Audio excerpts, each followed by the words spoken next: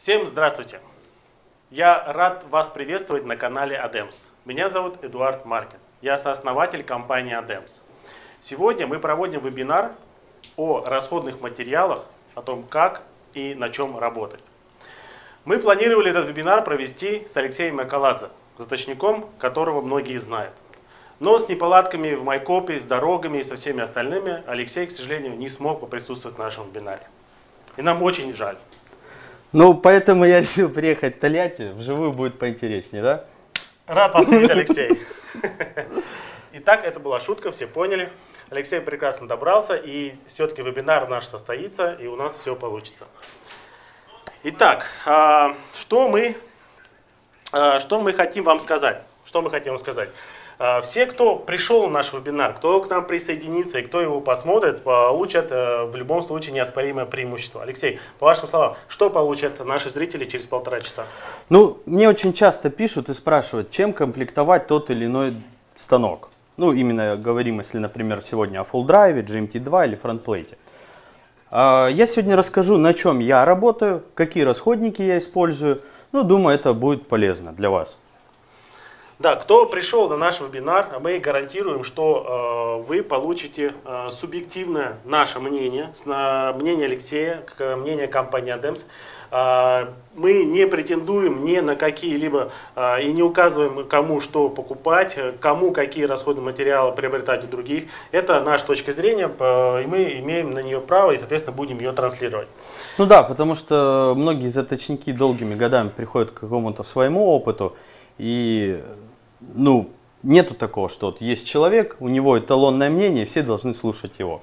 Поэтому мы поделимся вот тем, что имеем мы. Так, ну давайте вкратце, э, кто нас смотрит впервые или кто плохо нас знает, мы э, вкратце представимся. Э, компания ADEMS была основана в 2010 году, занимается производством станков для заточки парикмахерского, маникюрного, бытового, садового, медицинского инструмента. Долгий путь становления нашей компании, конечно, основывался на э, обратной связи э, заточников. Одним из них э, является Алексей. Итак, наша компания занимается и направление нашей компании осуществляется по трем, три направления в общем. Первое – это производство станков и подбор все для заточки. Второе направление – мы занимаемся обучением заточки парикмахерского маникюрного инструмента в Академии заточки АДЭМ. И третье направление, мы строим бизнес под ключ. То есть вы можете обратиться в нашу компанию, мы можем составить бизнес-план, помочь с организацией а, получения денег в различных фондах, центрах занятости и всего остального. Также подобрать мебель, а, расходные материалы, инструменты для того, чтобы запуститься. Помочь с выбором помещения, ну и назовем также что-то лайт-франшиза. А, Алексей Макаладзе, заточник с 2011 года, года, если не ошибаюсь. А, основатель школы заточки э, ZM э, под ZM, заточка Макаладзе. Да, заточка Макаладзе. Алексей занимается, э, занялся этой практикой с 2011 года и продолжает совершенствоваться в заточке, увлеченно этим занимается не жалеет, как говорится, ни себя, ни денег, ничего, для того, чтобы именно, и в чем мы с ним согласны, мы занимаемся развитием рынка профессиональных заточников, потому что на сегодняшний день этот рынок, а, этот, эта ниша, она не, э, до, до конца не занята. А, профессионал в этом деле, Алексей не даст обмануть, э, она, их, их мало, их недостаточно, ну, да. их нужно готовить и обучать, чтобы наши клиенты с вами, наши э, заточники, девушки, мастера маникюра, парикмахера ну, и различных других услуг получали высокопрофессиональный сервис. Несколько слов хотел да, добавить. Да, Алексей. А, вообще вот, ну по моему опыту, а, сфера услуги именно заточки парикмахерских ножниц у нас а, сильно недооценена даже самими заточниками. Многие успешно зарабатывают затачивая маникюрные ножнички, кусачки и сопутствующие, так сказать, принадлежности. А, лично я ну так получилось, что заточка для меня не только дело, которое приносит мне доход, благодаря которому я могу зарабатывать, но является для меня хобби. И ножницы это очень интересная тема. Поверьте, я приехал сюда не только, чтобы вот постоять за этим столом, но и в конце мы вам еще расскажем, какие есть планы на недалекое будущее. приоткроем, так сказать, занавесу да. будущего. Че я сюда приехал? Ну хорошо. А, итак, повторюсь, сегодняшнее мероприятие посвящено обзору расходных материалов, которыми пользуемся мы, пользуется Алексей, и которые мы предлагаем вам для обозрения. Это наша субъективная точка, точка зрения. Итак, и откроем некоторые, может быть, лайфхаки, может быть, секреты. Ну, зависит, если заболтаемся, если вы нас разговорите, может быть, мы с вами чем-то Да, поэтому не забывайте писать комментарии, чтобы было что обсудить на основании ваших вопросов.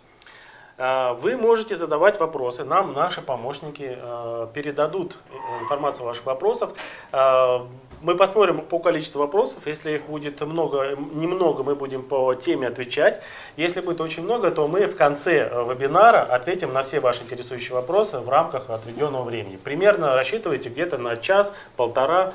Ну, если сильно заговоримся, ну, можем и три проговорить. Ну, да, там да, и э, мы, э, компания DEMS и Алексей, я думаю, вот, вот на эту тему заточки э, мы все примерно одинаковое количество лет уже, мы можем говорить очень долго. Мы можем говорить отсюда не выходя часами, годами, неделями. Конечно, мы сегодня осветим э, не все. Мы осветим некоторые э, какие-то базовые вещи без углубленного какого-то наверное, осмысления. Некоторые вопросы углубленно озвучим, но все рассказать про расходный материал мы сегодня не сможем. Поэтому, обратившись в компанию ADEMS, Международную академию заточки ADEMS, где мы подробно рассматриваем применение расходных материалов на обучение, вы можете записаться э, по телефонам, э, указанным на нашем сайте adems.ru, ну и, соответственно, записаться на обучение. Также повторюсь, авторский крафтовый метод заточки э, парикмахерского маникюрного инструмента – разработал э, основатель школы заточка э, Макаладзе Алексей и, соответственно, также проводит обучение и к нему также можете. Ссылка на канал Алексея будут у нас в описании к данному видео. Ну что? Ну начнем, наверное, с фулл-драйва. Да, давайте начнем. Вот, Алексей, такой еще вопрос. Скажите, вот какими могут путями пойти люди, да, заточники, кто начинающие, э, что бы вы им пожелали в начале пути э, освоения именно заточного дела? ну, есть несколько путей. Если брать путь, по которому шел я, то, в принципе, я был самоучкой. Но могу сказать так, что если э, пройти обучение, это будет хороший пинок, ну, так сказать, за неделю, пару лет такого пендаля получите, и можно будет благополучно развиваться в правильном направлении. То есть сказать, что вот вы приедете и увидите там некие фантастические позу, в которой все получается затачивать, или секретный ингредиент, по факту секретных ингредиентов нет. Есть различные абразивы и различные их применения. Поэтому я бы сказал так. Вначале э, проконсультируйтесь. Многие люди вот стесняются, они напишут, э, какой станок купить или что порекомендуешь. Но стесняются как-то даже позвонить. Я всегда рад поговорить по телефону, рассказать вам о продукции. И нет цели вам чего-то навязать. Просто вы послушайте, подумайте и принимайте свое решение. Еще я бы добавил, что э, путь развития заточки парикмахерских ножниц с планшайбой горизонтальной, ну это, наверное, самый лучший путь, который можно выбрать. А по факту, зачем я сюда приехал? Ну, на сегодняшний день, наверное, ADEMS это full drive – лучший станок массового производства с горизонтальной планшайбой. Поэтому тут что добавить? Да, спасибо за конструктивную положительную оценку. Получается, что э, у Подытожу, у начинающего заточника есть два способа. Первое, самостоятельно учиться, э, смотреть видеоролики, где-то быть каким-то э, знайкой, незнайкой, всего это познавать. Но этот путь, он может затянуться, и к моменту, когда вы уже придете к какому-то результату, может, а, вы можете остыть к этому делу, и можете уже перегореть и, соответственно, бросить это дело. Поэтому если вы намерены э, делать это просто как хобби, затачивать, для, например, для своей супруги или для своих друзей, то э, такой метод он приемлем. Вы не торопясь, потихонечку освоите и все остальное. Ну, да. Но если вы хотите свою жизнь посвятить мастерству заточки, зарабатывать на этом деньги, именно зарабатывать на этом деньги, Соответственно, э, нужно сразу с чего-то стартануть. Нужно знать, э, какое оборудование нужно, нужно знать, какие расходные материалы, ну и, конечно, обязательно это технология заточки.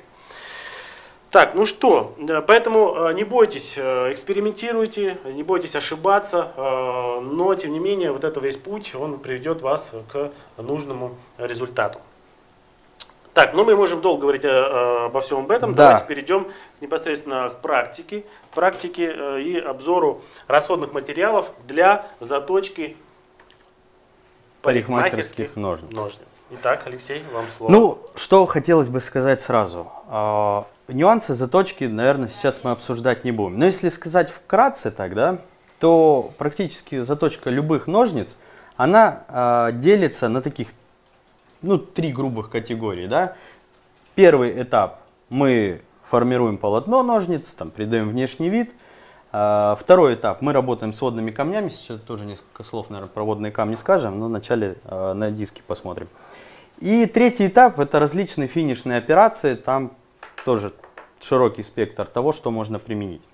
Если говорить о базе, о самом начале, то мы используем э, абразив, ну, скажем так, наждачная бумага, либо э, на бумажной основе, либо, слово это все время на либо на пленке. Полимерная или какая-то да, там правильно? Да, да. да. А, в чем преимущество данных абразивов? Но ну, если брать готовые круги, во-первых, это ну, не что-то там такое дорогое и золотое, и удобно. Приклеил, снял диск, поставил следующий. Диски меняются просто моментально. Ну, не да. знаю, конечно, всем это понятно, но вдруг кто первый раз смотрит. То есть вот, установил. Сейчас вот этот стук мы просто ослабили, чтобы наглядно Металлич... На металлический диск наклеивают с помощью абразивного клея э, наждачная бумага и э, разные зернистости. От э, там, 300... С какой вы начинаете? Ну, 240, 320? Да, ну, Не привыкли, что на вы. Самая грубая, которую я использую на фулл-драйве для черновой обдирки, это 240 номер. Ну, как-то вот так с годами золотая середина для меня получилась.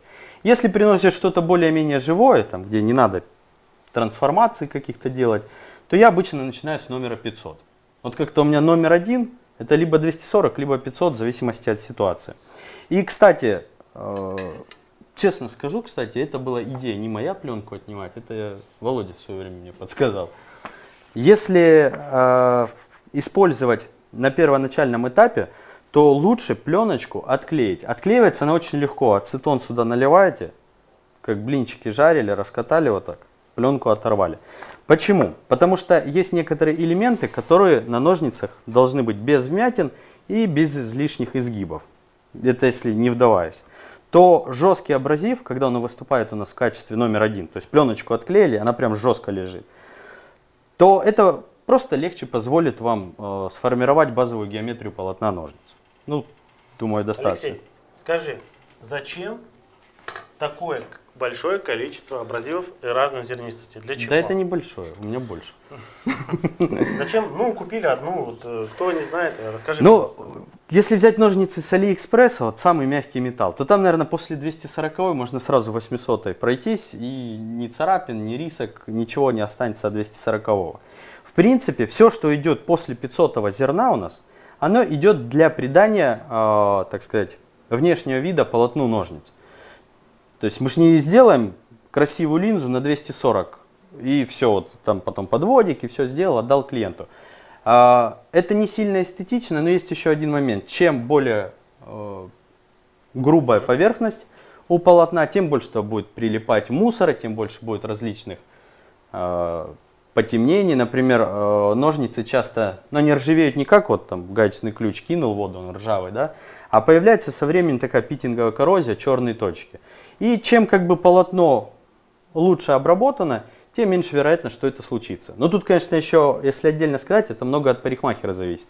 То есть, если она в состав для маникюрных кусачек ножницы засунет, и они там пролежат двое суток, там хоть чем полируй их, жизни у них не будет. Поэтому, если говорить о более ну, качественных ножницах, то чтобы добиться перехода, я использую, к примеру, там 500, 800, 1200, а, и по настроению 2 или 2 Алексей, 500. если нас смотрят новички, для угу. чего нужны переходы от более грубого абразива к более мелкому? Ну, потому что ты не сможешь сразу мелким сделать красиво и быстро. Почему? Потому что это будет множество царапин на полотне, и блестящие такие участки. Понятно. И экономия получится неэкономной. Потому что когда мы э, не делаем переходы, то мы дольше работаем на одном и том же абразиве, и по факту он засаливается. И, ну, да. я думаю, Итак, тут все очевидно. Друзья, э, значит, э, резюмируем. Для того, чтобы вам заточить ножницы по, по поверхности, она называется у нас как? Ну, я за... Как у вас Кто называется? как называется? Да. Я называю со стороны наличника до выхода на режущую кромку. Вот, мы э, используем в зависимости от металла, в зависимости от типа стали, да, в зависимости да. от твердости, ну, это разных его характеристик. Тут еще ремарочку небольшую. Вот если брать ножи, ножевиков, кто увлекается, ножи бывают из множества различных сталей. Если брать парикмахерские ножницы, наверное, 99,9% это различные нержавейки. Поэтому и подход к ним примерно одинаковый. Да, но в зависимости от все опять лишь характеристик э, необходимо разное количество вот этих переходов, разное количество абразива. Да. На каких-то достаточно двух-трех абразивов, на более, так скажем, бюджетных да, ножницах. Если какие-то дорогие, и либо какая-то есть степень большая износа, то требуется более длительный процесс э, выведения режущей кромки. Да. Еще э, сразу же добавлю, есть два пути развития. Кто-то любит на пастах это делать. То есть пасты тоже есть, о них, наверное, пару слов позже скажем, делать да, там пасты. Пасты вот стоят. Да, алмазные пасты. А, тоже можно достичь хорошего внешнего вида, но когда будем говорить о водных камнях, э, я расскажу, почему я предпочитаю водные камни, к примеру, притиром с алмазной пастой э, в отношении поверхности поддержки на ножницах. Ну тогда я предлагаю прямо да. сразу и перейти. Итак, Существует э, для, в общем, я расскажу, в общем, э, для чего нужны водные камни. Для э, ножницы затачиваются с двух сторон по наличнику, как сказал Алексей. Ну, с и, наличника да, на РК.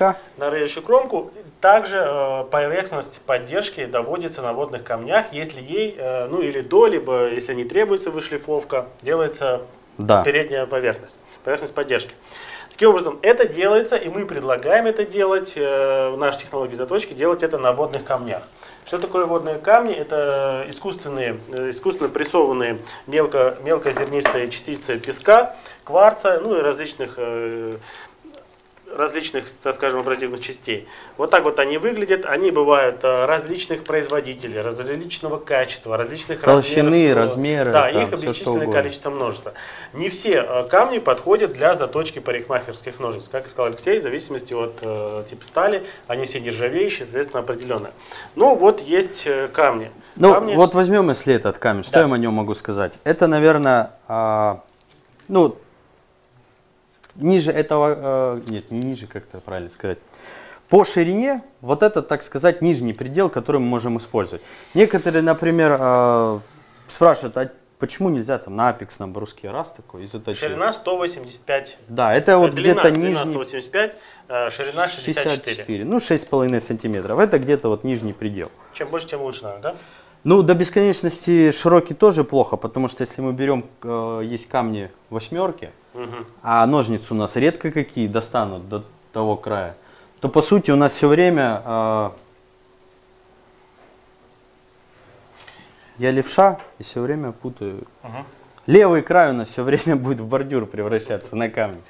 То есть поэтому оптимально это где-то, ну, от 6,5, может быть, э, до 7, ну, чуть-чуть больше. То есть, ширина. примерно ножницы э, да. схематично укладываются вот таким образом, и а, путем нажатия на определенные точки с определенным давлением ножницы проводятся по водному камню. Да, также, смотрите, а, водники можно немножечко профилировать.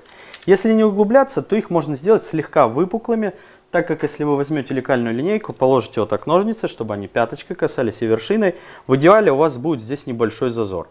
А, если вы работаете на плоском камне, ну не хотите заморачиваться там с выпуклостью и так далее, то можно положить на лекальную линейку, придавить, чтобы исчез зазор. Таким образом вы примерно поймете, какое нужно оказывать давление на полотно при работе с водным камнем.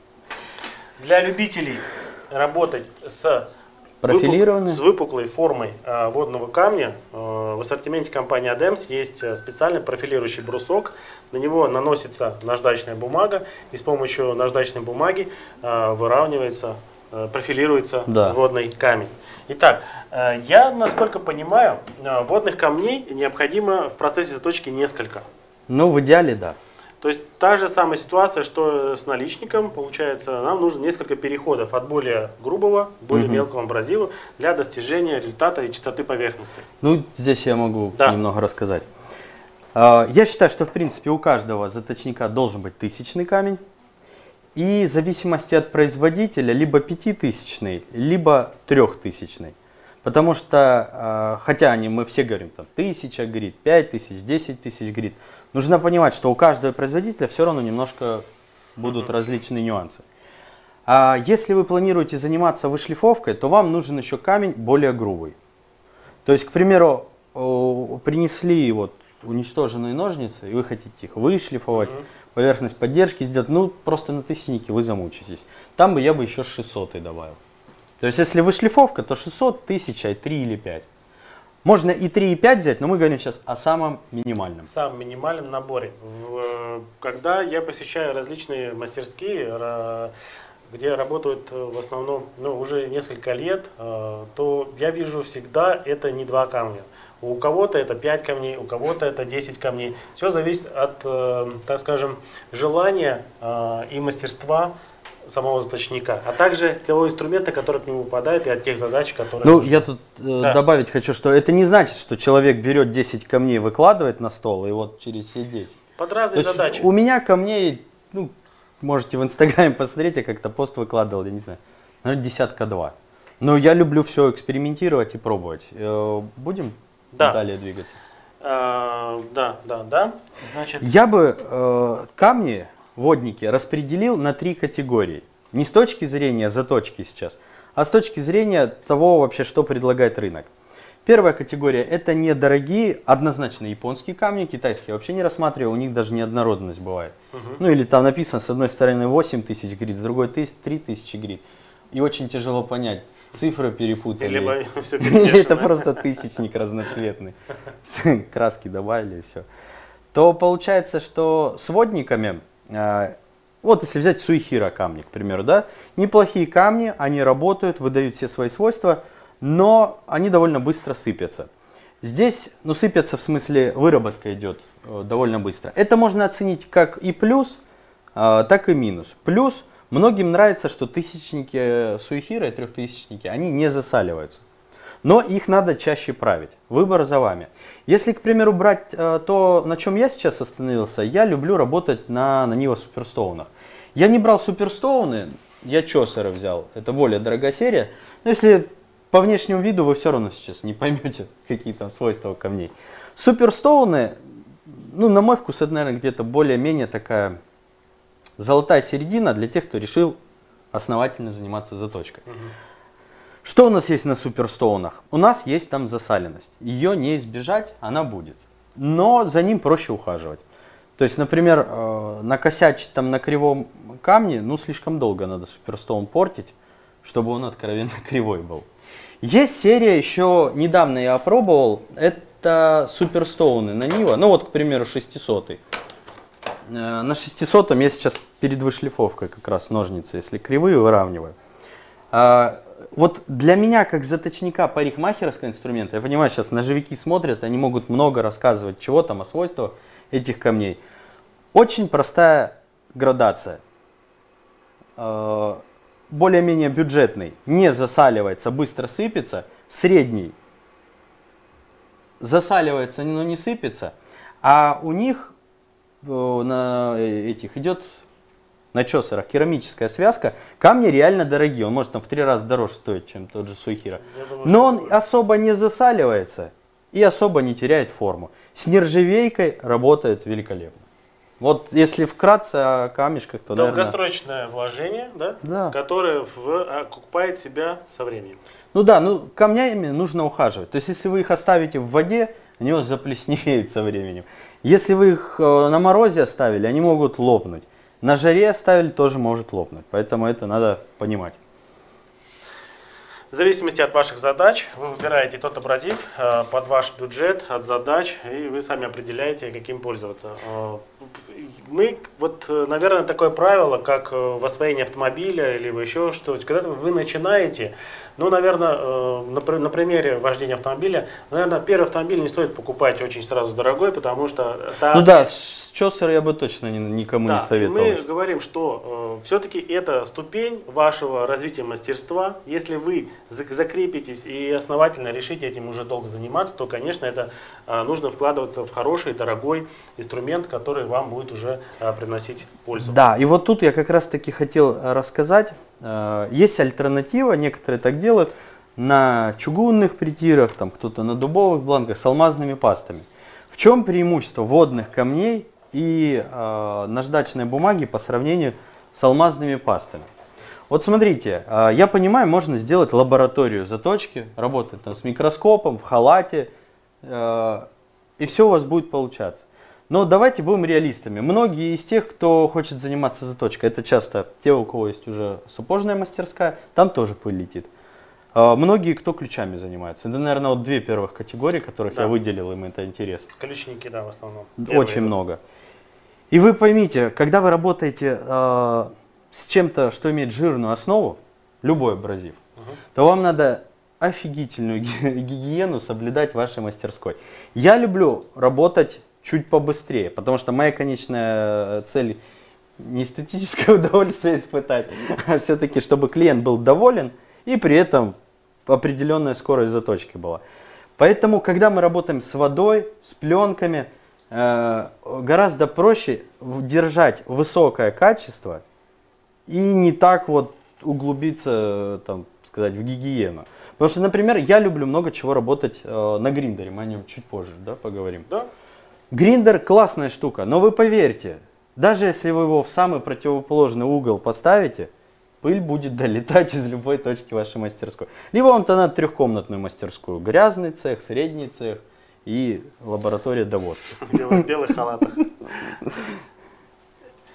Так, ну мы поговорили про э, ножницы. Да? Да. Э, на станке Adams Full Drive можно устанавливать э, не только горизонтальную планшайбу, но можно использовать э, другие абразивные материалы с посадкой на 32 отверстие с диаметром 32, вот этот вот диск он снимается и устанавливается сюда различные абразивы различных производителей. Да, замена делается очень быстро. Тот болтик выкрутил, поставил и без да, проблем. болтика у нас нет, наверное. Ну, сейчас, если нам найдут, то мы покажем вам.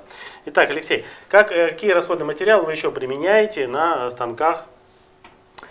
Ну, э, во-первых, у меня э, алмазные чашки, тарелки.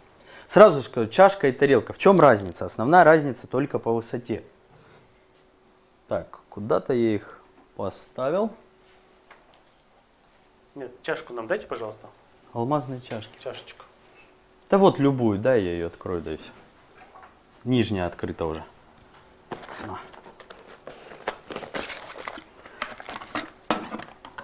Да, разница. 12 а 220, 12 а 245. А некоторые находят преимущество в том, что там а, здесь чуть тоньше, здесь чуть толще. То есть по той методике, которой я работаю, маникюрных кусачек, мне в принципе все равно. Но изначально чашки. найдены были чашки. Потому что когда это 10 лет назад было, на базаре что нашел, на том и начал работать. Да.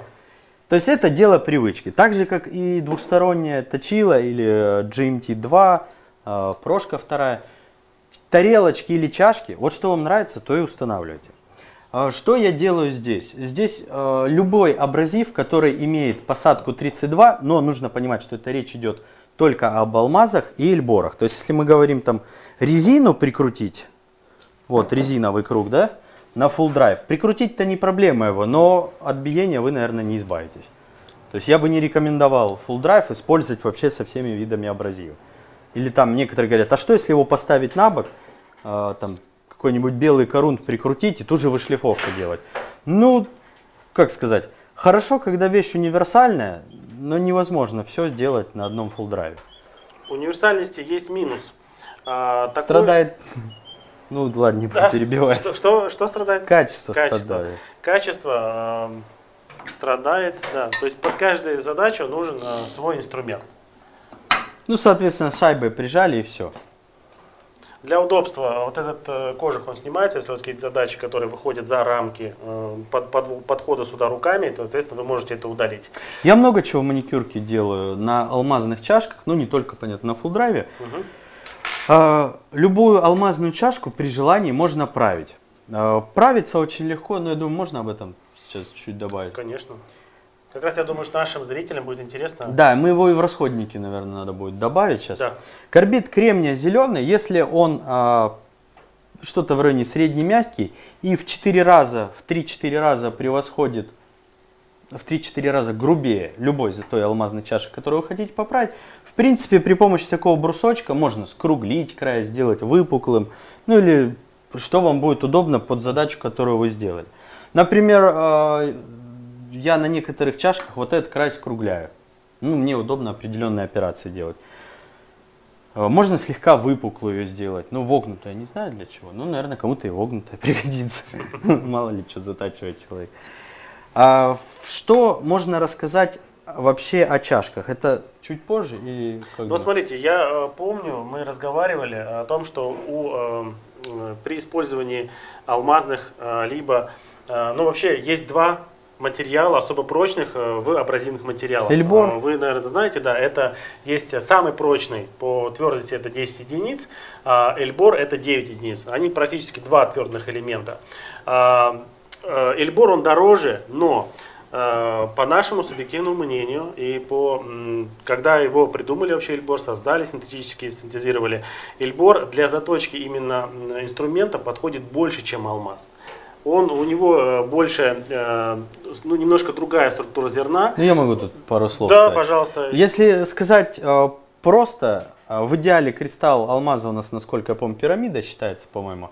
А Ильбор, так скажем, это пирамида, которую поставили на зеркале. Соответственно, у Ильбора больше тупых граней, чем у алмаза. То есть алмаз, он более такой едкий, и, и даже И даже можно, вот, э, как, как бы смешно в заточном деле это не звучало, но есть такой термин, да, самозатачивающиеся ножницы, которых действительно это мифы, их не бывает. Бывает для учеников с микронасечкой. А, но, тем не менее, гранулы э, вот именно вот самого твердого материала, они при изнашивании имеют именно такой способ, они не способ, а они именно они э, становятся острыми, остаются всегда даже по мере износа. Это именно особенность именно Эльбора. Да, и я бы еще немножко рассказал вообще про алмазные чашки. Да, я добавлю, сейчас, Алексей, добавлю по Эльбор, что чем он лучше, тем, что он более э, стойкий к, химически к любому металлу, он нейтрален к любому металлу, не окисляет, в отличие от алмаза. Он э, термически, э, он более стойкий, он не прижигает, менее прижигает режущую кромку, он более теплоемкий. Это вот одно из плюсов именно Эльбора в заточке, особенно очень э, мелких, тонких инструментов, кусачек там, или маникюрного инструмента. Да, причем визуально вы его особо не определите. Вот. Да. Это Эльбор, это Алмаз. Ну тут разные производители, ну даже у одного производителя. Цвет практически одинаковый. То есть в принципе это одно и то же. Но Он и красный бывает, и серый, там, чего добавить. Так, что про Алмаз, Алексей?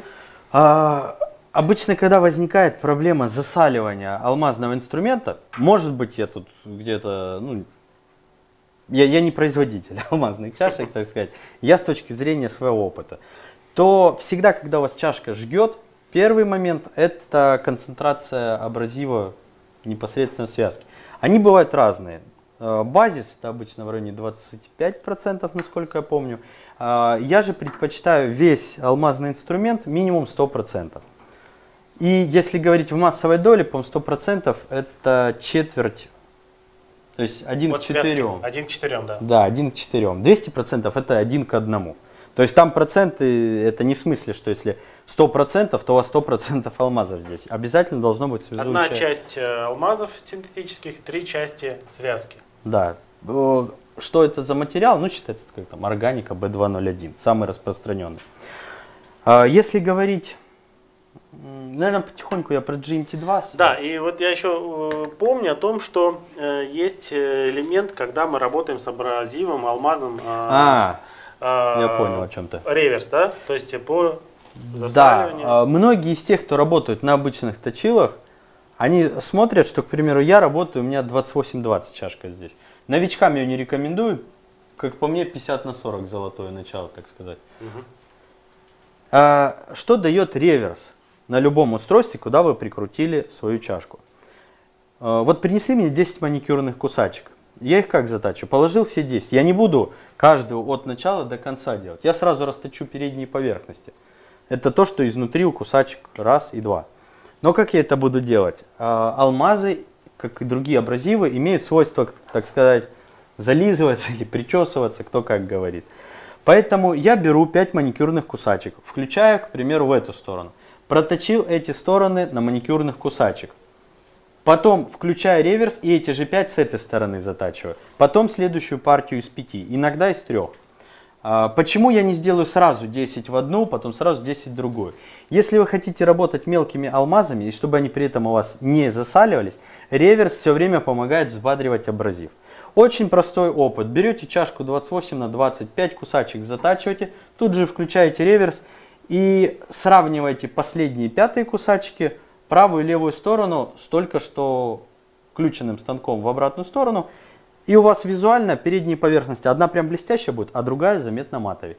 Потому что в общем, реверс позволяет работать мелкими алмазами, чего на обычном точиле как Алексей, бы очень скажи, сложно. пожалуйста, а, дай совет, а, какой э, набор, э, допустим, абразивного, начальный набор абразивных э, алмазных или эльборовых кругов ты посоветовал начинающему заточнику? Ну, я бы посоветовал взять full drive, мы сейчас о комплектации full драйва говорим. Мы сейчас говорим об алмазах, либо бельбурах. Какая? 50 на 40, 63 на... В зависимости от ваших финансов я бы взял э, обязательно 50 на 40, либо алмаз, либо эльбор. Э, эльбор показался чуть поприятнее, он работает на кусачках. У меня просто подсобнику выделил эльборовую, угу. и показалось... Ошибок меньше, да, было? Не, ну у любого новичка, у него ошибки, он очень много стачивает, но огранки стало меньше. То есть в плане огранки на Эльборе легче ему стало. И если есть э, ну, возможность, можно взять парочку. Это 50 на 40, 28 20. На 28 20 там много нюансов, не только на кусачках, но и даже на маникюрных ножничках. Так сказать, подобие надфиля можно сделать. То есть его можно включить, что он крутится у вас вот с такой скоростью. И вместо того, чтобы надфилем там некоторые элементы доделывать, я вот недавно перешел полностью на алмазные чашки. Ну, на пониженных оборотах. Ну да, то есть, э, в принципе, это как с водными камнями, процесс э, нарастания вашей мастерской количества э, различных абразивов, он будет только увеличиваться. Поэтому, ну, стартуем мы с 50 на 40 по версии Алексея и, соответственно, 28. Ну, 20. 20. Я еще в ближайшее время взял себе уже, кстати, Ильбор 40 на 28, но так как я хочу много чего попробовать, как думаешь, что будем сейчас там? А, да, э, есть вопрос э, по правке э, чашек. Угу. Вот, то есть в любом случае при эксплуатации у каждой чашки да, появляется определенная засаленность. засаленность, либо выработка может появиться. Тогда расскажу немножко. Да, то скажем. Смотрите, если за чашкой не ухаживать, ее можно ушатать, даже самую дорогую, за три месяца. Все опыт есть. Ушатать, опыт да. есть. А если взять мою последнюю а, чашку 2820, ну так сказать, уже опыт приобретя, я могу сказать, что в чашках я начал соображать так, как считаю нужно, не так давно, то вот последняя 2820 в июле будет ровно 24 месяца, как она у меня никак не испортится. Я уже даже, ну и не расстроился, если бы она испортилась. За два года она себя отработала более чем. А, первый момент, за которым нужно следить, если у вас есть пятна засаливания, ну, грубо говоря, на свет смотрите, и тут блестящее пятнышко, и тут блестящее пятнышко. Это два момента, где засалилась чашка. Что здесь будет? Здесь будет э, более легкое скольжение э, металла в этом месте. И по сути получается очень быстро. Здесь она проскальзывает и не стачивается абразив. А там, где ну, само тело абразива, будет выработка быстрее. Э, если за этим не следить, то с появления мелкого биения до появления сильного биения на мелкоабразивной чашке за неделю можно, ну не знаю, ну на полмиллиметра разбить ее точно. Еще нужно понять, что мелкие абразивы э, более э, тщательного ухода требуют к себе. Быстрее засаливаются, естественно. Да, поэтому я очень часто свои чашечки мою. Это не так сложно. С full драйва, к примеру, если снять, или там э, с профикса, легкая установка съем – то самый простой вариант, ну, пималюкс и металлическая щетка. Ее помыл, и все отлично. А так про между делом каким-нибудь растворителем и тряпочкой. Вы прям будете видеть, вы тряпкой протираете, а у вас там ну, черная. Вот как чистая тряпочка становится, все, значит вы свою чашку почистили. А, если же все-таки у вас случилось так, что у вас пошла волна, об этом тоже расскажем, uh-huh, да? Uh-huh.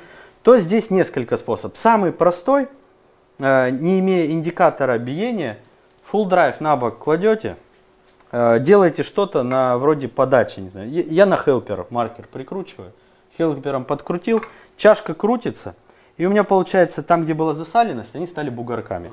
И у меня она прокручивается, и маркер раз, царапнул, э, бугорок понятно где. Ну, может быть, их несколько. Берете стекло, порошок карбида и притирайте. Сразу вопрос, наверное, будет, какое зерно.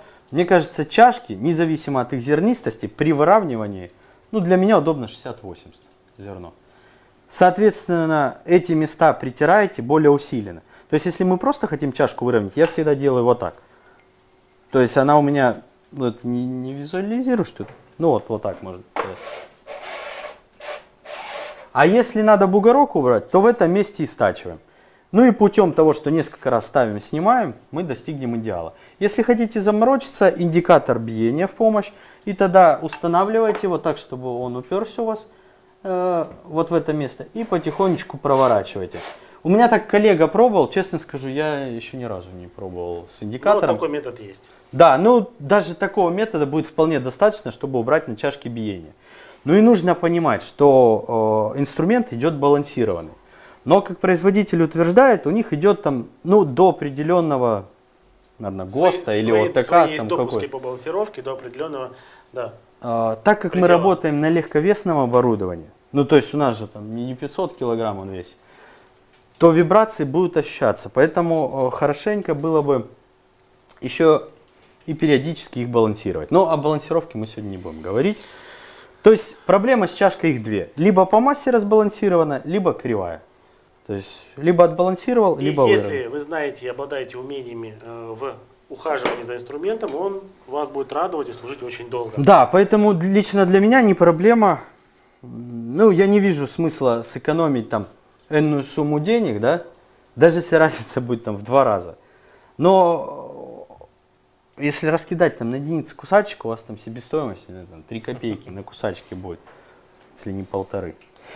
А, еще про другие алмазы тоже, наверное, да, можно Да, сразу? про алмазы сразу что зашла речь. Давайте поговорим. Раз она зашла. Но это не алмазы, это два вида эльборов. А, я и алмазы такие пробовал, и эльборы.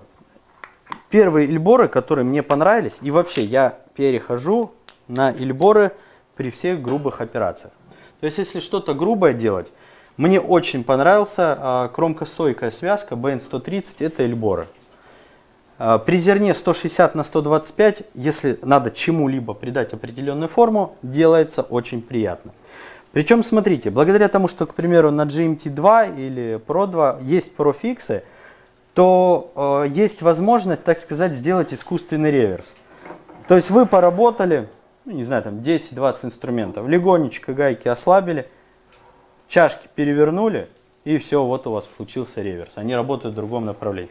Но я, честно, даже вот с кромкостойкими пока не заморачивался, работают они, что-то засаливания особых не определил.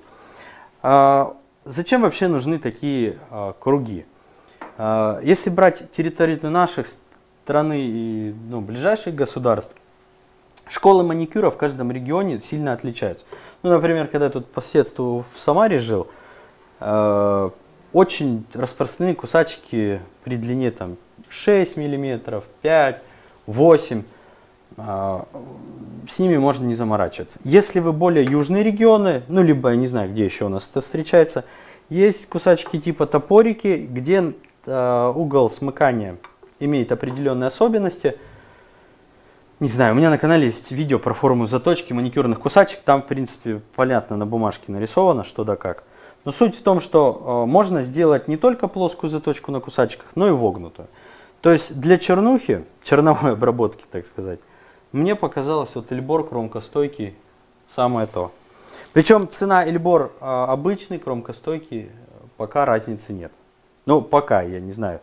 Я раньше, к примеру, для красоты брал все чашки. Видите, разница в корпусе такой и такой. А здесь корпус такой алюминий. Я даже не знаю, что там за смесь такая. Когда сверлишь, его очень вонючий. Вот, вот так даже нагляднее будет. Вот такого цвета. А здесь вроде как литье, смотрится красивее, но по факту пришло к тому, что, во-первых, они более тяжелые, с балансировкой чуть мудренее получается.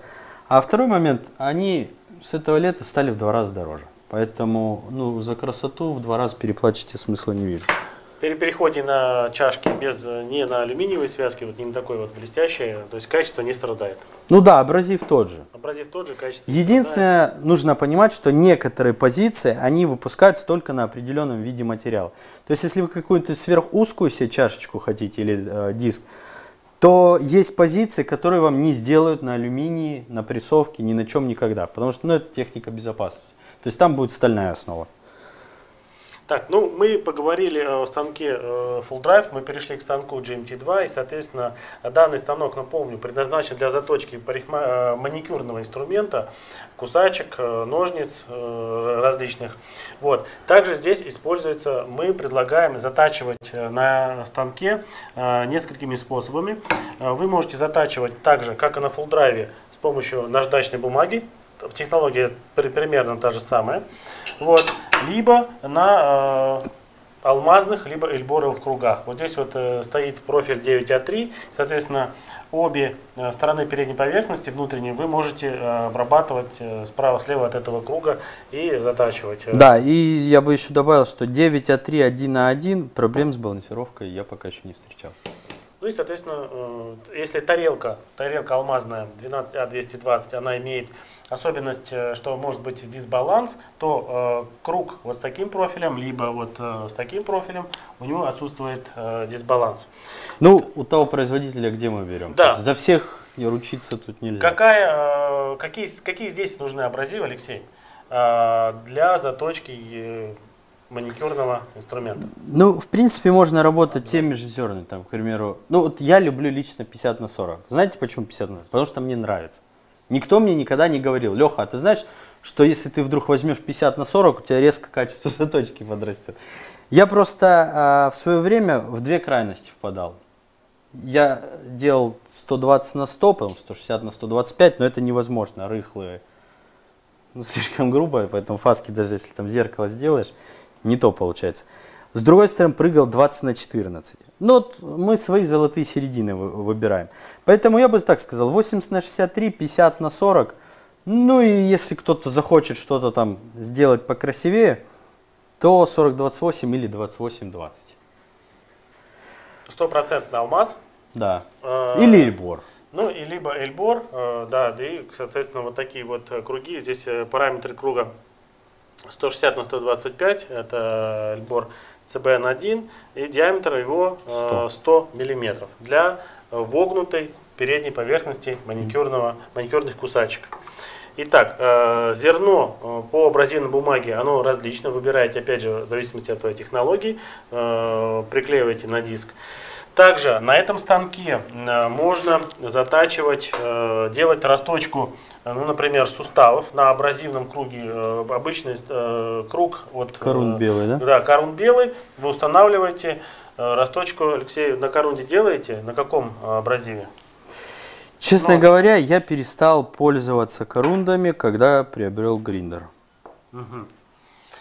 У кого нет гриндера, вы можете использовать э, вот этот белый э, круг, это электрокорунт. А какое зерно вы используете? Это, мы говорим сейчас пока зерно А, какое, это базово. Да, мы говорим ну, 40 о тут. 40 зерно, либо там может быть 80 60 для каких-то грубых обдирочных работ.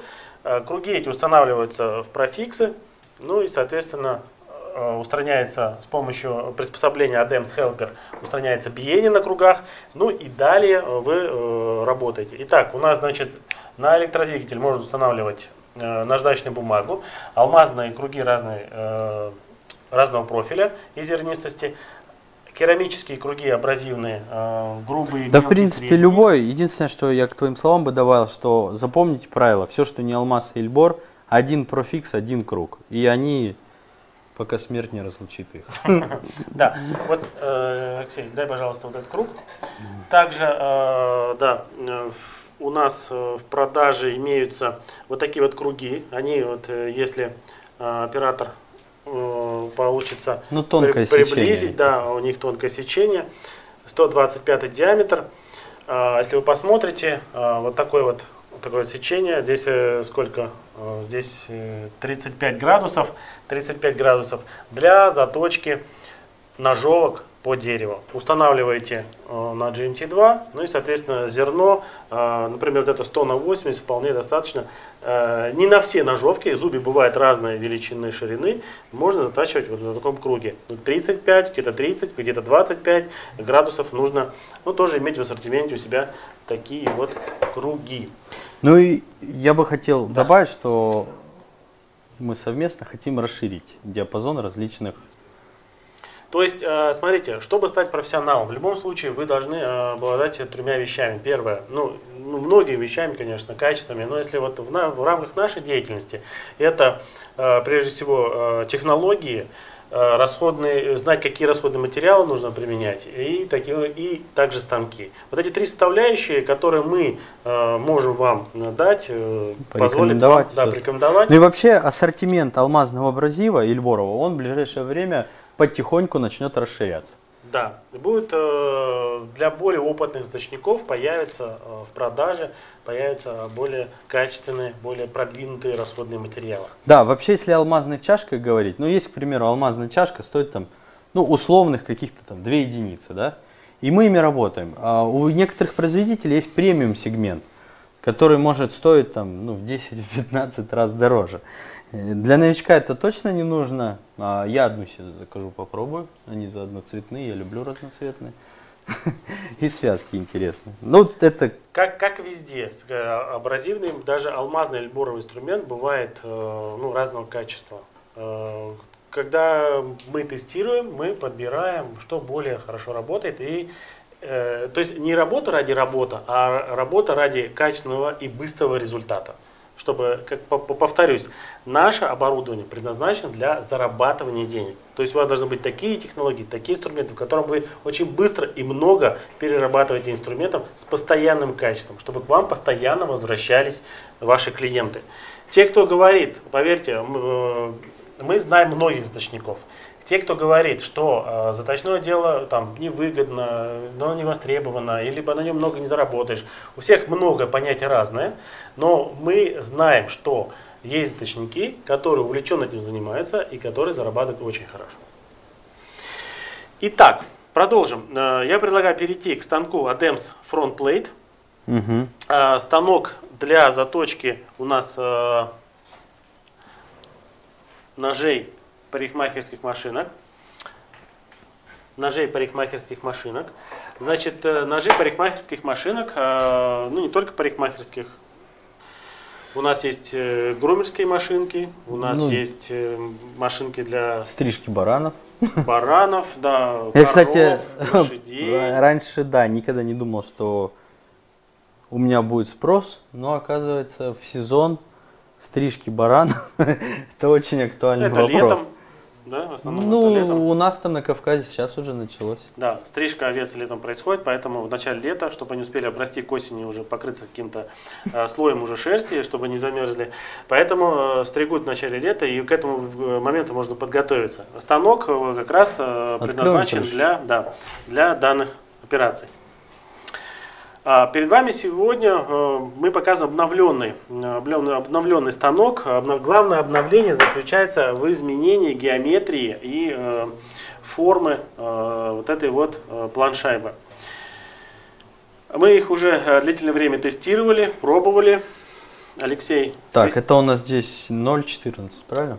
Да, а, планшайба, какие основные изменения? Ну, мы ушли сейчас э, от э, архимедовой спирали. спирали. У нас здесь э, так называемая гладкая поверхность. У нас есть рабочая зона. Да, видно, да, в кадре вот этот момент? То есть мы показываем люди, чтобы видели еще раз. То есть вот эта часть не рабочая, рабочая отсюда до края. Да, то есть мы работаем вот на этой поверхности и говорим, что вот э, удерживая нож в этой поверхности, на этой части э, круга мы можем э, гарантировать и тот результат, который достигается. Итак, какие расходные материалы нам нужны для этих задач? Ну, я не только про расходные, несколько слов отступлю вообще по ножам. Первый момент, который нужно понимать человеку, который затачивает ножи парикмахерских машинок, что если он только затачивает и больше даже не смотрит в машинку, что там происходит, э, будут недовольные клиенты, хоть, хоть какая она будет, хоть там платиновая, хоть золотая. То есть надо все-таки понимать устройство машинки, то есть вникнуть в это дело. То есть есть некоторые элементы, которые имеют свой износ, и их необходимо обновлять. По абразиву э, я, ну я со своей, так сказать, позиции, я на алюминиевой планшайбе использую оксид алюминия. Он очень хорошо работает, по моему видению. Да, вот такой оксид алюминия. Они, кстати, тоже бывают разного качества. Э, бывает так, что и не точат. Мы, э, вот это э, порошок, э, абразивный порошок, он импортного производства, мы закупаем, фасуем уже, предлагаем к покупке. Для заточки парикмахера вот этих ножей используется F240. Вот он такой цвет у него. Горчица такая, да? Да, гор, не горчица, коричневатый такой, как речной песок. Вот. Также э, сюда можно наносить сюда можно наносить под разные задачи также карбид кремния. В принципе, оксид алюминия и карбид кремния, они имеют э, право на существование и участвовать в вашей технологии заточки. Каждый мастер, еще раз повторюсь, каждый мастер сам определяет, каким инструментом и какими э, расходными материалами пользоваться. Кому-то что-то это, кому-то что-то это. Ну, например, для э, заточки, вот э, по мне, так э, по заточка, вот, например, решеток и ножей мясорубок э, делается на плоской стороне, ну, из более грубого абразива.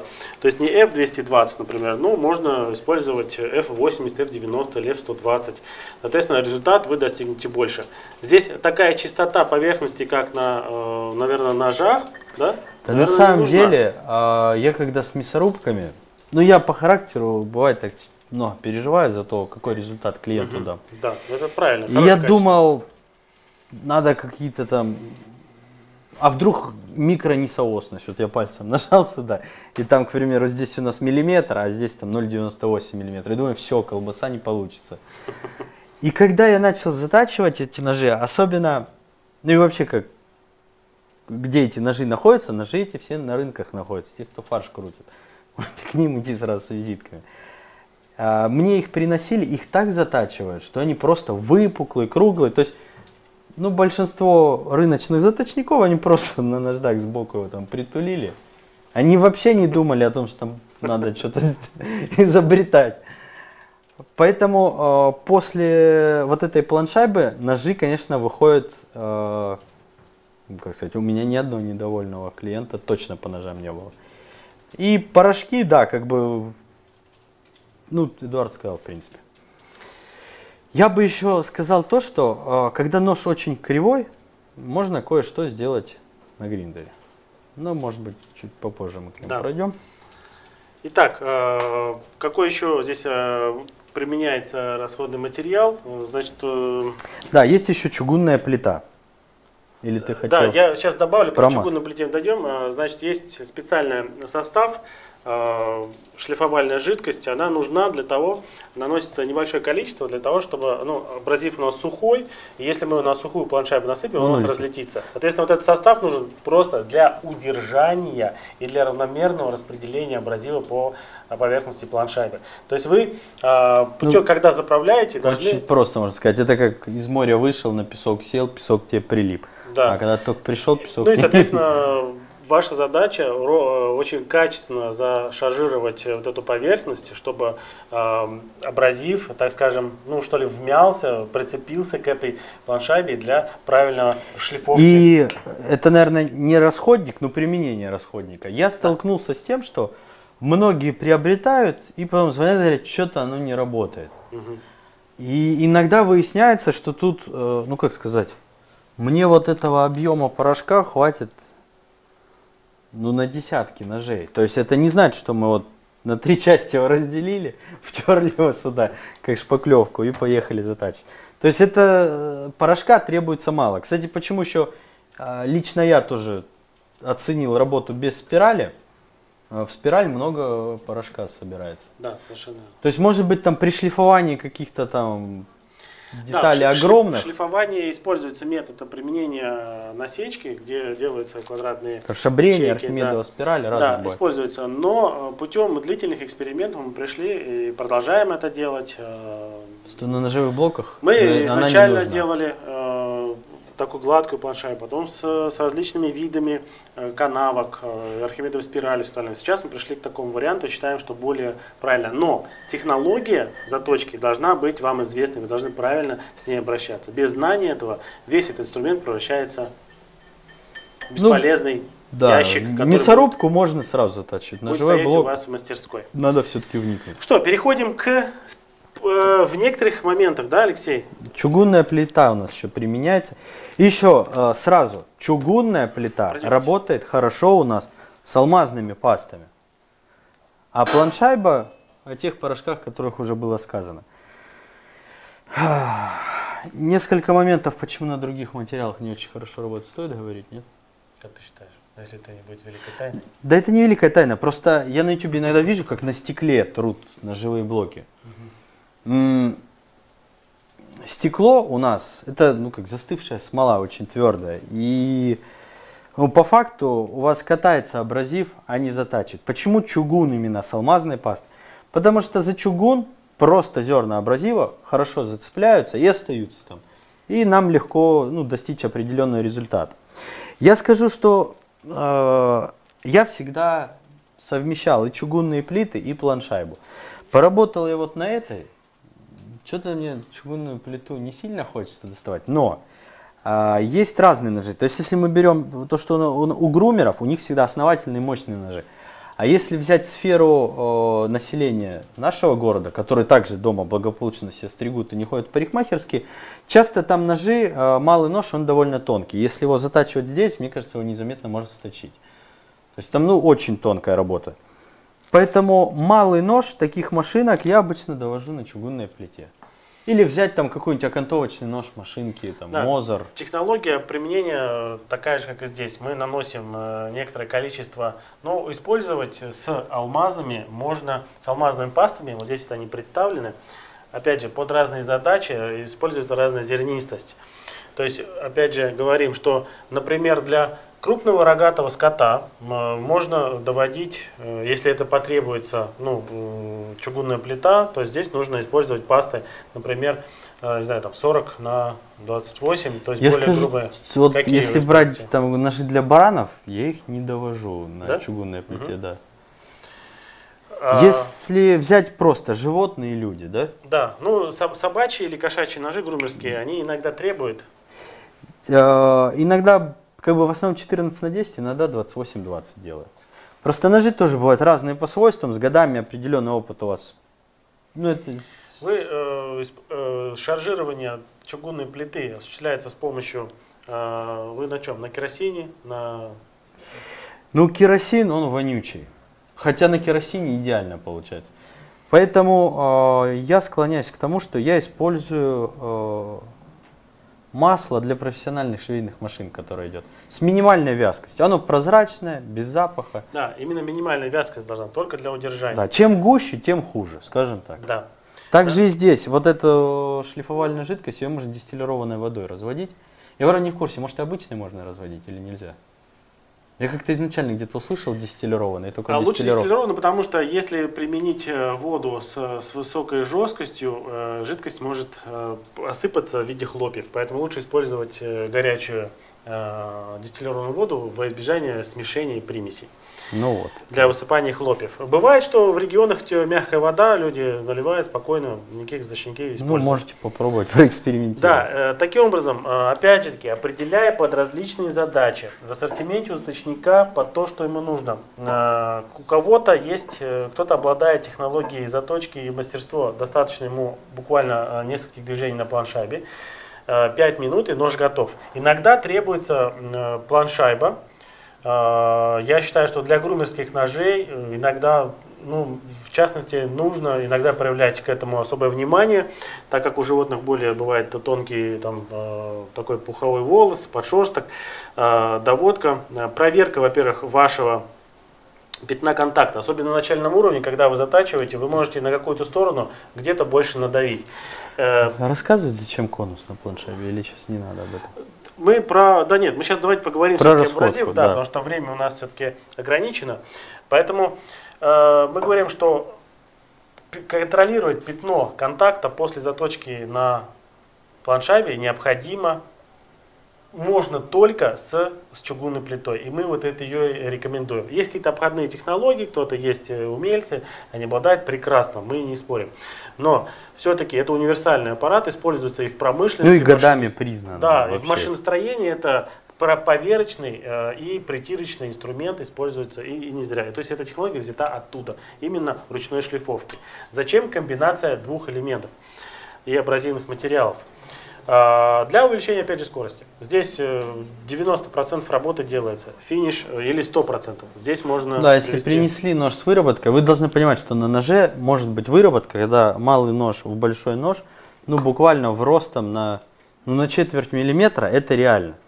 А поверьте, четверть миллиметра ножевого блока стирать на плите только, ну, ну долго это. Я это как бы в свое время делал и проходил. Но возвращаться к этому не хочется. Да. Итак, у вас два варианта использования чугунной плиты и это алмазные пасты. А, алмазные пасты э, мы рекомендуем, э, так скажем, а, с маркировкой э, ну, стопроцентный, опять же, алмаз с маркировкой НОМ. То есть это, я могу ошибаться, по-моему, да, НОМ мы, мы рекомендуем. Также это мазевидная смываемая, э, смываемая алмазная паста. В зависимости от э, инструмента вы э, применяете различную алмазную пасту. Есть еще также эльборовые пасты, также можно их применять, но они, соответственно, дороже. Алмазные пасты... Я их даже проверить не успел. Да, алмазные пасты прекрасно справляются, в, в ассортименте у нас есть. У вас, опять же, должны быть наборы. От более грубого абразивного материала алмазов к более мелкому. Бывает да, ножи... тем более алмазные пасты это опять же расходник, который наносится сюда не столовой ложкой, а... Там буквально делается такая сеточка, там 3 Да, с маслом это растер. Да, именно все. для э, нож после чугунной планшабы. Да, это грязная немножко технология, может быть долгая, но она э, гарантированно даст результат. В некоторых случаях она не применяется. На всякий случай чугун лучше мыть керосином или маслом, водой не вздумайте. Ну, если вдруг ну, да, мысль такая может, может, она, она может заржаветь. Да, я перед использованием всегда беру э, поролон, обычный поролон. Он очень хорошо ее чистит, и с маслом я ее всю тщательно довожу до нужного мне состояния. Итак, э, что еще можно ну, по, э, если какие-то вопросы остались по э, применяемым абразивным материалам для э, комбинации вот этих вот станков, ну, прошу задавать. Так, перейдем к станку, перейдем к станку Adem Тесар. Какие материалы абразивные? Вот смотрите, что такое Тесар? Это станок для заточки, ну, вообще универсальный шлифовальный гриндер, станок, э, значит, с лентой 915 миллиметров.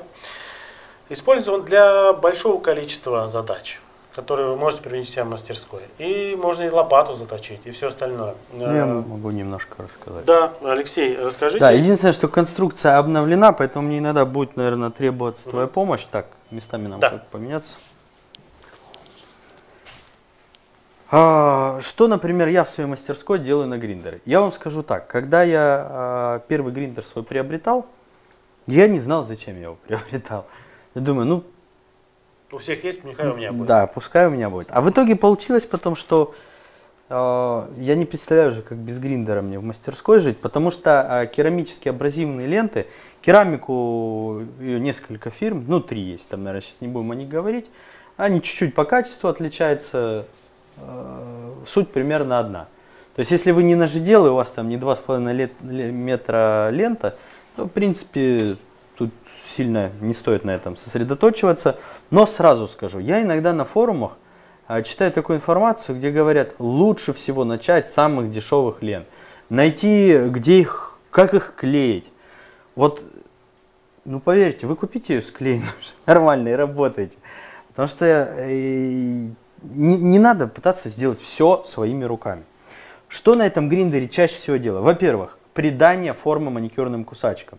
Бывает, приносят так, что там скол миллиметра три. А клиент говорит, а можно укоротить и сделать. Когда мы это делаем здесь, здесь или еще на чем-либо, всегда будет дольше, потому что керамическую э, ленту на вроде VSM, 3M или Bora Derfos вы не установите. Здесь это делается быстро и не нагревается инструмент, что самое важное. Понятно, что после гриндера его надо э, аккуратненько на планшайбе довести до приемлемого внешнего вида. Потому что даже если я на гриндер ставил э, мелкие ленты, но он все-таки шустро работает, как-то вот именно финишные операции я делаю все-таки здесь. Что еще делать на гриндере? Гриндер идеален. И, и с помощью какого абразива все-таки наши сегодняшние слушатели? Э, я люблю 60 и 80. Зависит от производителя. Когда как. Ну и плюс еще 60 бывает что-то более грубое сделать. Потом она немножечко подзасалилась, но она также неплохо работает. Поэтому, ну, 8,60. Если э, хотите одну взять, я бы начал с 80. То есть формирование черновых кусачек, ну, как черновых, мы не изготовители, а сколы убрать, 80 но те, кто с нуля, я знаю, делают кусачки, те 36-ю, 40-ю, но это когда вообще там надо мясо снимать. А, да. Да, вот Алексей сказал, когда он приобрел, приобрел, он не совсем понимал, зачем он купил гриндер. А, вот, а, таким образом, э, все-таки, когда вы приобретаете станок, эм, ну, для начала, конечно, мы вам подскажем, мы вам спросим, для чего вы приобретаете, под какой инструмент. А, под какие задачи и цели. Э, необходимо, конечно, иметь какой-то набор расходных материалов. Э, ну, например, вот, э, прошу оператора показать, вот у нас здесь представлены различные производители. У нас в ассортименте нашей компании есть ну, практически все производители под разные задачи. Если вы нам точно скажете, под какие э, задачи вы его покупаете, мы вам подберем ассортимент лент. То есть мы э, э, этой технологией обладаем. Если хочешь, могу немного о лентах Да, рассказать. я бы хотел, Алексей, рассказать нашим зрителям именно о лентах. Да, а, смотрите, для себя я ленты распределил так. Есть у нас грубые керамические ленты. Они идут от 40 зерна и до, ну чтобы не ошибиться, что-то в районе 170-180. Это обычно формирование чего-либо. Придание формы, ну, максимум там может быть э, какая-то сверхчерновая заточка на чем-то не ювелирном. Затем э, я бы выделил отдельно ленты э, 3M Тризак 237AA. Они идут от А100 до А5. А100 это у нас аналог 300 с чем-то, по-моему, грид. А 5 это почти 2500 грит. То есть на 2500 грит, кроме тризакта, наверное, больше ничего не найдешь. Это уже почти финишная полировка. Да, если хочется стамесочки или что-то подобное вытачивать. А острая, поверьте, острая. Вот этот шрам у меня подтверждает. Я стамеску сделал в первый же день, когда гриндер приехал мне. И такой думаю, ну как эти, а столярник из меня не очень. Ну, в общем, на всю жизнь запомнил. Таких острых стамесок я не видел. А, и есть еще э, ленты, я бы сказал, скотч брайт. Их есть четыре вида абразивных и безабразивный. То есть вот на эту ленту можно наносить э, пасты полировальные и, соответственно, придавать внешний вид э, инструменту. А, есть, кстати, еще идея, некоторые пробовали. Я сейчас, знаешь, что себе дома делаю? А, взял ленту А5, самую гладкую, и отдал сапожнику. Он пристрочил мне на нее сверхтонкую кожу с двух сторон, а, ободранную. А на нее мы вклеиваем э, ременную кожу. Хочу попробовать сделать полностью кожаный полирование. Ну там есть много нюансов с тем, что она отклеивается. Надеюсь, когда-нибудь это получится, покажу на своем канале. Поэтому получается еще раз. Есть грубые керамические ленты, и для грубых операций лучше не экономьте на лентах, там не такие колоссальные деньги. А, есть у нас э, тризакты для заточных операций на гриндере и есть полировальные ленты. Это безабразивные и есть еще четыре вида разноцветных абразивных скотч-брайтов. Они неплохо дают э, вид сатина на чем-нибудь, то есть если вы так э, ну, не как изготовитель, а так, для дома. Решили ножичек поправить, очень красивый внешний вид будет. Кстати, мне понравилось, что обновили, и теперь просто на магните открывается вот эта деталь. Нас долго просили, и мы откликнулись. Так, как он падает у нас вниз? надо сказать волшебное слово, и он падает. И где там эта волшебная кнопка? А с этой стороны у нас э, просто затягиваются два болта. Сейчас они А, все, я понял. Да. А, в положении вот таком я несколько раз, вот кто-то сейчас скажет, это бред, или скажет, так не работает. Когда ножи сверхкривые мясорубки приносят мне, я ложу их прямо на плоскость. И а, обязательно неодиевый магнит на мясорубку, а лучше два. И все время вот так, раз с проворотом, два с проворотом, три с проворотом. И тогда получается понятно, что он, нож будет выпуклый. То есть, на каком образе? 40-м, 60-м? Ну 40 тут не пойдет, где-то 60 -й. И с мясорубочки можно снять немножечко вот это вот супер кривое мясо. Но это если после других заточников, которые там... Испортили. Да. да. И потом на фронтплейте доделаешь. Поэтому много чего я тут делаю. Но в частности, вот один из моментов, чернуху на мясорубках можно сделать на ленте от гриндера. Но понятно, что это небольшие промышленные ножи. Ну, да. То есть речь про быт. Ширина ленты, используемая на 50. данном гриндере, 50 миллиметров. Э, вот что туда помещается, все можно использовать. Да, есть еще у вас приспособление для заточки ножей. Я им, в принципе, активно пользуюсь. У меня и самодельные, и похожие есть, и ну, суть проста. Есть у нас э, зажимы для ножа, есть кольцо регулировочное. Так, площадку там сейчас как на новом быстро поменять? Это ж можно, да, сделать? Да. И, соответственно, вот та штанга используется. Угу. Алексей, скажи, пожалуйста, вот, э, допустим, принесли тебе, э, ну, вот такие вот ножи. Приносят? Да. Похожие. Ну, На станках апексного типа затачивать их смысла я не вижу. Принесли, я не знаю, штук 10 тебе их там, 20. Вот, для этого нужен гриндер. Скажи, пожалуйста, какие ленты ты для этого используешь? Вот для бытовых, обычных, и сколько времени тебя это занимает? А, ножи бытовые приносят иногда в таком виде, что там у нас а, ямы по полотну. Ну, то есть дома на камешке их точили, испортили полностью. Если человек говорит, э, хотите, я говорю, ну, базово геометрию чуть-чуть поправлю на ноже, и он соглашается, то я на где-то на 60-м зерне прям туплю нож, вывожу профиль лезвия, а потом я никогда на таких дешевых ножах не пытаюсь сделать там какие-то красивые спуски. Ну, у меня есть еще как бы определенный опыт, наверное. Благодаря этому я на руках а, вывожу примерно вот то, что здесь видно. Ну, то есть вот такой своеобразный спуск. Это нельзя назвать красивым спуском, как на охотничьих ножах.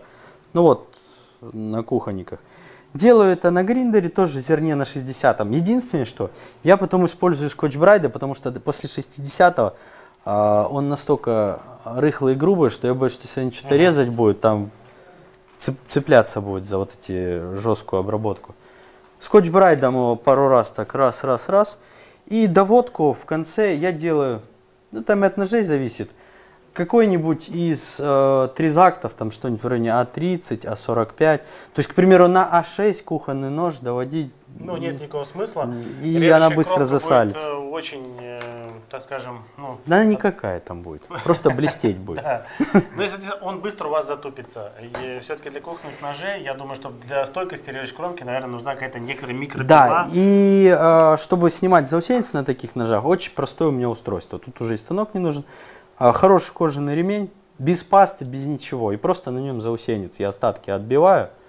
То есть, чтобы после ленты, ну, моя логика какая, вдруг у них в пищу там заусенец попадет, может, неприятно кому-то ну, будет. Может, приятно. Железо полезно для организма. Так, э, ну, сейчас э, Так, я новую вот эту еще не пробовал, поэтому я Здесь тут... Э, схематично мы покажем, да, мы в прошлый раз показывали работу, заточку ножа. Значит, вот эта штанга, она устанавливается вот сюда, и э, все, здесь вот болт в комплекте идет, э, устанавливается на тело гриндера. Э, в, в держателе зажимается нож, ну и, соответственно, вот таким За вот счет способом. вот этого момента, вот держи, вот у нас получается угол и меняется. Кольцо двигается? Причем кольцо двигается и двигается у нас э, сама штанга. Вы можете выбрать различные углы заточки. Таким образом, э, мы стремимся к решению какой задачи? Применяя различные, ну вот для ножа сколько? 3-4 ленты для бытового, да, достаточно. Может быть, даже два иногда, если они не Три ленты можно Три даже... ленты и э, с учетом... Это не в смысле, что три ленты все по режущей кромке. Там одна для формирования, одна для заточки и одна для, так сказать, сгладить риски. И времени на это надо еще раз. А, ну, тут еще смотри, какой момент. Есть люди, которые делают так. Взял одни кусачки, полностью их заточил. Не, про ножи говорим сейчас. Э, если я делаю ножи, вот мне их принесли, я всю охапку поправил геометрию, все, охапку сделал такие подобия спусков. Тип, ну да, если каждый раз стоять и менять ленту под каждый нож, то долго. Все правильно. А так, ну, 10 ножей за час точно можно сделать. Сколько стоит заточка одного ножа? Ну, тут от регионов еще зависит. Ну, вот ну, такие ножи у меня по 100 рублей. 100 рублей. Итого в час ты... Тысяча рублей Тысяча рублей, час поработал, тысяча рублей. Много или мало решать вам, но мы говорим о том, что все-таки вручную на приспособлениях ручного типа, но не имеет смысла, во-первых, тратить дорогие камни. Нет, если я вручную нож затачиваю, самый дешевый, если вот просто так, лишь бы резал, они говорят, ну это три сотни минимум будет. А времени? Времени больше там. Нет, Понял. но в этом случае, если за 300, то это минут 20 вот задача. 20 минут один нож, то в час три ножа. С помощью станка для бытового сектора, для рынка, для дома. Нет, оно просто нет смысла. Там на базаре кто там будет тебя разглядывать, там зеркало, Совершенно не зеркало. Верно. Таким образом, имея э, просто брусок, мусат, это одно дело, но имея станок в вашей мастерской для того, чтобы быстро и оперативно заточить, это ваше конкурентное преимущество. Вы можете сэкономить на, вернее, не сэкономить, вы можете э, на качестве, э, у вас качество останется прежнее, но времени на заточку уйдет. Конкурентов вы уберете тем, что вы уба, уба, уменьшите стоимость заточки. И еще важный момент, надо как бы и своих клиентов чему-то обучать. Я, например, клиентам говорю, ну, вместо вот этих точилок, я говорю, пользуйтесь керамическим усатом. Заодно их можно у себя держать, чтобы клиент мог его у вас и приобрести. Отлично. Подобные вещи как бы Итак, а, значит, у нас поступил вопрос, э, господин Мельников спрашивает, все-таки хотелось бы, я так понимаю, по фронтплейт рассказать, но у нас э, время есть, я думаю, что мы прям буквально э, потратим на это минуту ну, времени. конечно. Да, прошу, проходите. А, опять же, тем, что я сейчас делюсь, это мое понимание. Вот смотрите, если мы возьмем чугунную плиту, чугун, чугунная плита у нас какой формы? Она у нас плоская. Да. Ну, я есть... ее не профилирую. Со временем может быть вогнутая стать, но это плохо, это надо выравнивать. Поэтому... Это следующий вопрос, который задают нам. А, тоже спрашиваю, да? Да. Про... Ну, я просто хочу понять, что есть технологии, где люди полностью обходятся чугунной плитой. Да. И ножи у них прекрасно режут. То есть, и, ну, ни один заточник это может подтвердить. Тогда спрашивается, а на что влияет конус? Ну, давайте подумаем. 0,14 а, градуса, это получается ну, здесь где-то 8,2 минуты, если в градусах считать. Если ошибусь, пересчитайте на калькуляторе, это вот то, что я помню. Может ли этот уклон существенно повлиять на форму самого ножа, чтобы он каким-то чудным образом резал дольше? Угу. Ну, я думаю, нет. То есть, если представить вот это вот, почему я сказал про 8 минут, то есть, представьте, каким должен быть шар, у которого вот на таком участке выпуклость 8 минут. Ну, это, наверное... Не шар, скорее всего, а вот э, форма вот такая вот. То есть, ваша задача, э, нож, именно, ну, э, я схематично показываю. Э, мы пытались, э, ну, вернее, не мы, а мировое сообщество пыталось... Э, сделать вот такую форму, чтобы нож у нас э, касался э, обрабатываемой поверхности вот, вот по такой вот плоскости. Таким образом, у нас здесь образовывается некая выработка, некая такая выпуклость. Mm-hmm. И таким образом, э, вот этот угол, вершина у нас конуса здесь, который идет на понижение, когда мы ставим, мы имитируем вот такое положение. Конечно, у нас есть небольшое расхождение, но оно настолько минимальное, что оно... Что по сути, да, его нет. Оно, оно здесь э, уже не так важно. Э, в моем понимании, зачем это нужно? Э, смотрите, есть ручная заточка ножевых блоков, есть, когда ну, привод ходит затачивает. Но в любом случае, это не мега точный привод, это я угу. точно могу сказать. Да. Поэтому конус дает возможность компенсировать погрешность рук при вот таком перекате ножа. Получается, когда нож вот так, а он у вас может так кататься, То есть, если вам кажется, что у вас железные руки, и вы можете полную плоскость сделать, если там углубиться там, и под микроскопом просветы, наверное, вообще практически ничего плоского. Даже поверочные линейки, у них есть класс, э, класс точности. То есть даже поверочная линейка, она все равно кривая. Поэтому, если там до сверхточности углубиться, наверное, ничего вообще тут на этой планете плоского абсолютно нет. Поэтому, когда мы затачиваем, у нас передвижение ножа идет, вот здесь покажу, да, от центра к краю, от центра к краю по рабочей поверхности. И у нас есть два нюанса, которых надо нам избежать. Первый – это переката вот этого, и в принципе конус, он немножечко компенсирует, помогает в этом плане работать. То есть, когда этот перекат компенсирует. Второй момент, у нас всегда есть опасность заточить нож так, что у нас сердцевина будет более выпуклая, чем края. А это очень легко проверять, а, ну это как вам такой совет. А, берете, если неопытный, маркером закрашиваете поверхность уже заточенного ножа. Берете, где магнитик? Здесь нет его. Ладно. Да, здесь не положили. Берете нож с магнитиком на вращающую плашаву и вот так роняете его. Раз. И через несколько секунд поднимаете и смотрите. У вас, а, если вы грамотно давили на нож, а грамотно давить на центр ножа, а не на край, это, кстати, заблуждение. Я когда тоже думал, что если на края ножа давить, то мы типа плоско сделаем. Если мы давим на края ножа, мы наоборот сточим здесь и здесь больше, чем по центру. Правильно давить на центр. То маркер у вас сотрется, знаете как, если все грамотно сделали. Первые затирания начнутся здесь и здесь. И меньше всего по центру. То есть нож, хотя он и жесткий, да, мы визуально не можем увидеть, мы его погнуть можем.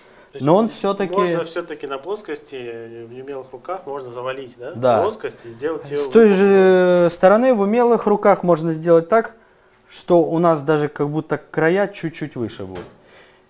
Единственное, что иногда бывает опасность, по запарке вот так затачиваешь ножи. Крупные-то ты их не испортишь, а потом мелкие берешь и также на центр сильно давишь. А потом машинку включаешь, и у тебя получается он трется только здесь. А середина, она вообще не касается, потому что ты его от души прижал, так скажем. Угу. Поэтому конус, он компенсирует у нас вот этот перекат, а остальное остается правильным нажимом компенсировать. И на выходе у вас получится правильно заточенный нож. Самый простой тест, наверное, ну помимо резания, нож включили, запустили, погоняли, посмотрите пятна затирания. Если вы видите что-то там вот прям где-то пропуски, то однозначно вы накосячили. То есть ножи должны равномерно втираться друг в друга. Некоторые говорят, что за, благодаря конусу на зубчике вот так становится, и потом притирается. Но поверьте, через 10 стрижек, 14 минут на плоскости, там следа не останется. То есть, ну это мое мнение. Да. По чугунной плите, Алексей. Вопрос э, по именно, когда существует выработка. Э, как ее выровнять? Как, э, на каких абразивах, э, как вы выравниваете? Ну, тут два способа. Самый простой способ найти э, качественную мастерскую, где стоит плоскошлифовальный станок. И они сделают вам это автоматизированно. А, бывают, конечно, ребята, которые на очень разболтанном оборудовании все это делают и некачественно. Но вот это вручную никто не притирал, так сказать. То есть, если, если бы эти плиты в руками притирали, я думаю, она бы все-таки грамотно, я уже это не первое слышу рекомендации, грамотно, э, есть у вас два варианта. Первый вариант это приобрести новую планшайбу. Плиту. И, э, извините, плиту. И второй вариант это отдать именно на производство, э, на, в вашем регионе, на, где есть плоскошлифовальный станок, вам отшлифуют, либо обратиться в нашу компанию, вы можете прислать э, с эту планшайбу, ой, опять же плиту, и мы вам ее отшлифуем до первоначального состояния. Да, но есть еще способ, э, как бы, есть много, есть много способов. Я пробовал способ. этот способ. Да. Какие мои выводы? Я весь день тер плиты. Это как бы... Ну, день не зря прошел. Ну, подкачался, да. Ну, во-первых, плиты прилипают. Понимаете, когда дело уже доходит до того, что порошки поменьше, ой, не порошки, а пасты. Ни в коем случае на порошках карбида кремния я бы не советовал. То есть это однозначно на алмазных пастах. Плита начинает липнуть. Да, это можно сделать руками, но все-таки лучше автоматизированным путем. Ну, то есть, если ваша цель э, стоит именно... Ну, либо если у вас есть подсобник, которому нечего делать, можно его загрузить на весь день, тереть плиты. Так, хорошо. Ну, наш э, вебинар подходит к концу. Э, есть у нас, ну давайте еще, здесь несколько вопросов, давайте еще. Можно я тоже посмотрю? Да, вопрос мы ответим. Какие обороты использует Алексей для заточки маникюрных кусачек на DEMS Full Drive? Я использую максимальные обороты при заточке маникюрных кусачек. С чем это связано? Вообще Ильбор и Алмаз это абразивы, которые как заявляет производитель, любят обороты. Вообще считается, что если мы берем алмазную чашку Эльборовую, то Эльборовой вообще было бы хорошо 1004-5 дать оборотов. Я не пробовал, но надо еще понимать, что а, мы затачиваем маленькие детали, и у нас многое сходит нам с рук. То есть, к примеру, есть множество заточников, ну, про обороты ответ 3000 максимально. На фулдрайве 3000 используете? Да, но если я использую для заточки, к примеру, там как надфилем по ножничкам пройтись, максимально медленно, насколько может, там 150. Нет, вопрос э, кусачки. Кусачки да, максимум. 3... Главное на встречу фаски. То есть, ответ такой. Ну, отлично, отлично. Ну что, а, мы постарались, еще раз повторюсь, э, наша цель вместить э, в эти полтора часа было по максимуму ответить, э, ну, расширить ваш кругозор в расходных материалах. Все, конечно, сюда не, не, не, невозможно вместить, мы говорить про это можем долго, но пытливый ум всегда найдет выход из любой ситуации. Обращайтесь в нашу компанию, обращайтесь к Алексею, и, соответственно, вы всегда можете решить для себя. Да, и я бы вот тут от меня лично, как вывод, если можно. В заточке инструмента важнее геометрия, а не секретный абразив. Если у вас кривая геометрия получилась, каким бы абразивом вы ни затачивали, ничего у вас не получится. Поэтому абразив, он выполняет нужную, хорошую функцию, но следите за формой. Итак, друзья, получить консультацию по подбору расходных материалов, по подбору оборудования. Вы можете, обратившись э, по телефону э, на сайте adems.ru, э, наши менеджеры подберут. Получить технологию обучения можно в заточке парикмахерского маникюрного инструмента в нашей Международной академии заточки Адемс. Напомню, с нами был сегодня Алексей Макаладзе, основатель собственной крафтовой школы по заточке парикмахерского маникюрного инструмента. Большое ему спасибо за то, что он доехал до нас э, из славного города Майкопа, до Тольятти, э, где рядом с нашим городом, с городом Самаре, он долго проживал. Ну и, соответственно, всем спасибо, кто нас смотрел. До новых встреч. Задавайте вопросы, пишите. Будем рады на них ответить. Всем, Всем пока. Пока.